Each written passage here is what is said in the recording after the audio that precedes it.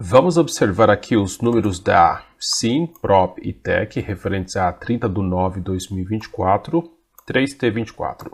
Começando aqui, base anual 3T23. Para o 3T24, a receita recuou 18,8%, de 105.909 para 85.962. Resultado bruto recuou 27,3%, lucro operacional menos 42,3% e o lucro subiu de 3.560 para 22.571. Margem bruta recuou 6,04 pp de 58,07% para 52,03%. Margem operacional recuou 13,12 pp e a margem líquida subiu 22,90 pp de 3,36% para 26,26%. Então aqui, queda de receita é o ponto de observação, hein? apesar do lucro aí, olha na receita e na parte operacional aqui. 2T24 para o 3T24, a receita recuou 92,1% de 1 bi 081 mi para 85.962 mil. Caso você não tenha visto o vídeo 2T24, no final deste vídeo aí lá no link, no cartãozinho, tem o link para o vídeo 2T24, caso você não tenha visto, ok? Para não explicar tudo aqui de novo, por que teve esse lucro extraordinário aí. Resultado bruto recuou 89,4%, lucro operacional menos 96,1% e lucro do período menos 95% de 457.108 para 22.571. Margem bruta subiu 13,18 pp de 38,85% para 52%, margem operacional recuou 33 pp e a margem líquida recuou 16 pp de 42,27% para 26,26%. Então, há variações bem negativas que não favorecem as ações, obviamente. Vamos ver detalhes aqui na DRE resumida 3T23. Para o 3T24, a receita recuou 18,8% e os custos recuaram também 7,1%. Com isso, fechou um resultado lucro bruto 27,3% menor, de 61.500 para 44.726. As despesas receitas operacionais, saldo negativo de despesas, aumentaram 26,2%, então fechou um lucro operacional 42,3% menor de 47.971 para 27.659. O resultado financeiro líquido despesas financeiras 3T23 menos 30.500 para receitas financeiras 3T24 19.946. Com isso tudo aí, fechou o resultado antes dos tributos sobre o lucro 172,5% maior, de 17.471 para 47.605. Com imposto de renda e contribuição social, fechou 3T23 lucro de 8.438 para 36.422, ganho de 331,6% e atribuído aos sócios de 3.560 para 22.571, ganho de 534%. Vamos ver alguns indicadores aqui. Lucro por ação, últimos 12 meses, R$ 3,22. Valor da ação, utilizado para os cálculos, R$ 8,48 e o PL está em 2,63, bem baixinho aqui. Importante observar que o resultado extraordinário lá do 2T24 está favorecendo aqui os indicadores, hein? Então, um lucro aqui por ação maior, um PL aqui bem baixinho, então não é sempre aí que a empresa vai ter lucro aí gigante de eventos não recorrentes ou venda de propriedades. Então atenção aqui, porque quando o 2T24 sair do cálculo, isso vai dar um baque bem grande aí nos indicadores, hein? PSR 0,93, PSR baixinho, ok.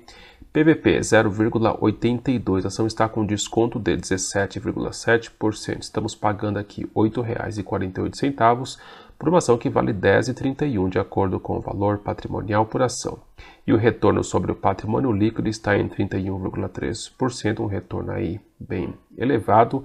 Então atenção novamente aí em relação aos efeitos aí do 2T24, hein? porque quando sair da jogada aí e a capacidade da empresa aí, né, de gerar receita aí, porque como eu mencionei em vídeos anteriores, quando a empresa vai se desfazendo de ativos, também vai eliminando a capacidade de gerar receita, hein?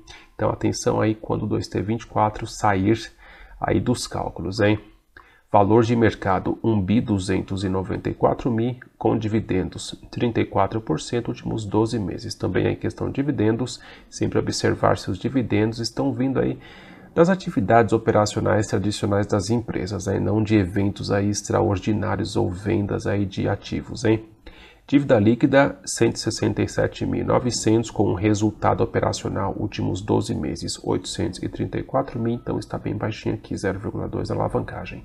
E pelo patrimônio líquido 10,7%, considerando uma dívida líquida de 167.900 com um patrimônio líquido de 1.573 mil. Vamos ver aqui o gráfico no comecinho de 2024, lá em R$ 4,87 ela vem ganhando aí 74% agora em 2024, hein? Observando aí últimos 12 meses, ela vem acumulando alta de 113%, saiu de R$ 3,97 e agora é em 8,48. Vamos observar aqui mais alguns números. 3T23 para o 4T23, a receita ganhou 9,1% de 105.909 para 115.577 e o lucro de 3.560 para 5.413, margem aqui 3,4 para 4,7%. Aqui no T24, a receita recuou 2,7% para 112.407 e o lucro subiu para 6.686, ganho de 23,5%. Aqui o extraordinário 2T24, com a receita crescendo para 1.081 mi, ganho de 862%, e o lucrão aqui em 457.108, margem aqui 42,3%. E aqui já observamos 2T24 para o 3T24 com a receita aí observando a queda aqui, hein? Estava lá em 100 mil aqui, 2T23, 103, 105, 115, 112, aí o lucrão aqui e a receita aqui já em caindo bastante. Então, atenção em relação à receita e ao lucro também.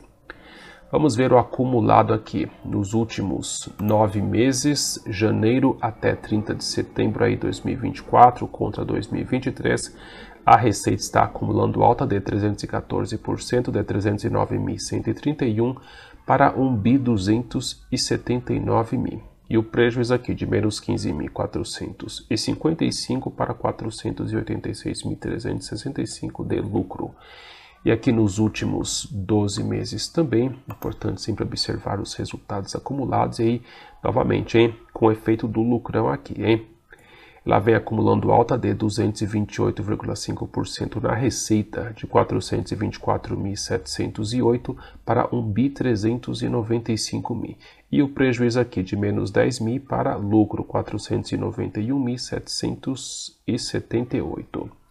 Então apenas atenção aí, né? Os números estão bons, estão com indicadores aí interessantes, tudo certinho por aqui. Mas atenção em relação ao 2T24, hein? Tá com aquele lucro extraordinário ali, receita extraordinária também, que estão inflando aí os indicadores. Então quando eles saírem aí dos cálculos, isso vai dar um baque aí bem grande nos resultados, hein? Muito obrigado por sua atenção e até a próxima.